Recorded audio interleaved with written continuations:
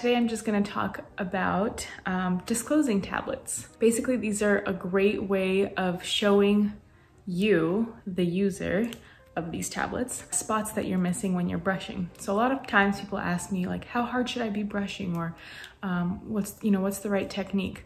I have a video on the proper technique, but another great tool is these disclosing tablets. You can buy them on Amazon or anywhere on the internet. Just type in disclosing tablets. And so what you do with these is you take one, either before or after you brush. I like to do it after I brush and then go back and brush again to see which spots I missed.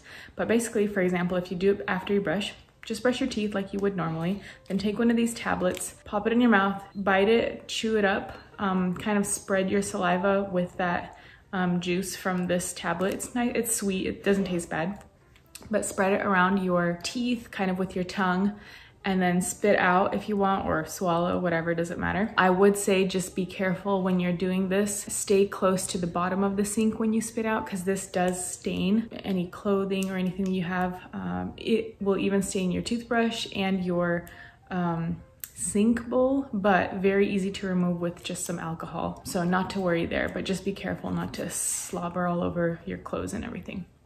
So yeah, you brush your teeth, take one of these, spread it around, um, spit out into the sink, and then check out your teeth in the mirror and see where you have dark pink spots on your teeth.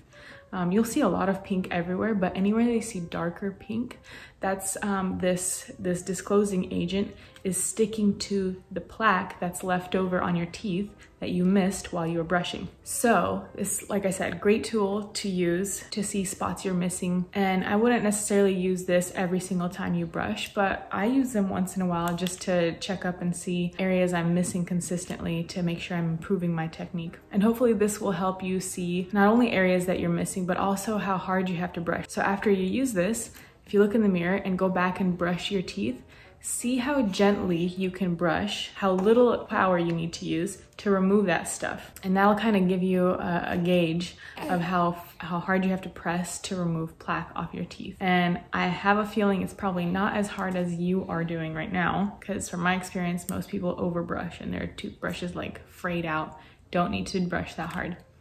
So yeah, these are a great tool to use for adults as well as for kids. For kids, I feel like it's really fun, but even for adults too. So there is that. Hope this is helpful information for you guys. Uh, also, since this is my once a month video, uh, this is also a raffle giveaway video. So if you're new to my channel, basically just make sure you're a subscriber, comment below on this video anything you want to comment unless you want to comment and you don't want to be part of the raffle drawing just say don't don't enter me into the raffle drawing um, but yeah, subscribe, comment below, and check back in a week. Um, I'll be posting a quick video where I draw uh, a, a, name out of a hat. Oops. Where I draw a name out of a hat to uh, announce the winner. So yeah, I will see you guys next week. Thank you so much for joining me and Ben. Goodbye. Uh, take care of your teeth. Blech.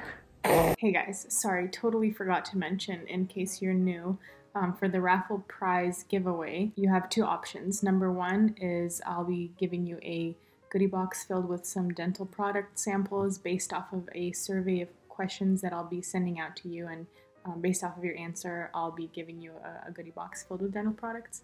Or number two, if you don't want a physical gift sent out to you, we can set up a Zoom video chat for about 15 minutes to talk about any general dental questions you might have um, for me. Okay, now bye.